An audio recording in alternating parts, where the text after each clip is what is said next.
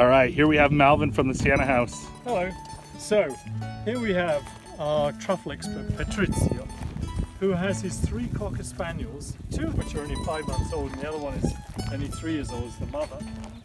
And they are looking for truffles. And we're literally 100 meters from the house on this little road that has pine trees.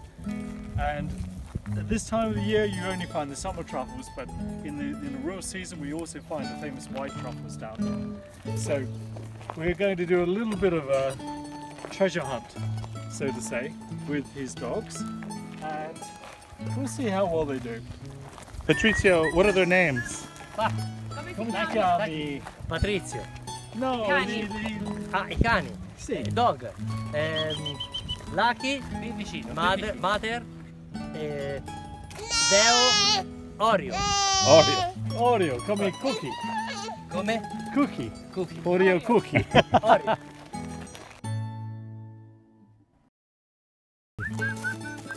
Vieni. Vieni. Oreo. Hunting? We're hunting truffles to put in the pasta later. Ooh, Dove? No, qui no. Ma l'hanno già, l'ha mangiato. Ah, no, no, no, no. oh, I think we found one.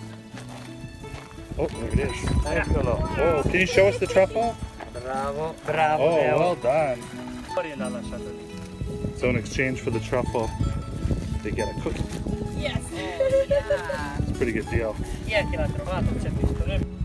Kind of had an Easter egg hunt. Where we planted the truffles, and uh, then the dog, dogs didn't know where they were, and we brought them out, and they found all seven in record time. And uh, little Oreo here is just five months old, and is the master truffle hunter. Here's Fabrizio, the trainer, and uh, Truman in his first truffle hunt. How'd you like it, buddy? We did really well, didn't we? He loved it. Huh? He loved it. He's heading back over to the dogs.